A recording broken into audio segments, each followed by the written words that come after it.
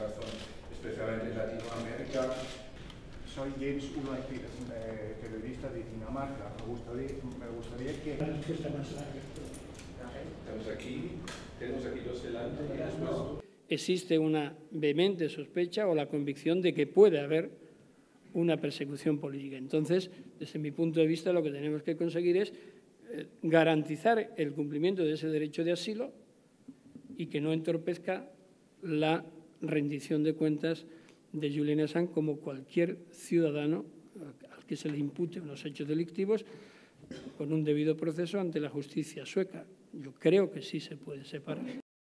Muy elevada de, del crimen organizado y se quiere que Julian Assange responda en Suecia. Y es respetable, pero no imprescindible. Es decir, puede perfectamente atenderse la demanda de Suecia en Reino Unido. Lo haré. Eh, por tanto, no veo contradicción entre mi tráfico de drogas y la despenalización necesaria de una serie de conductas.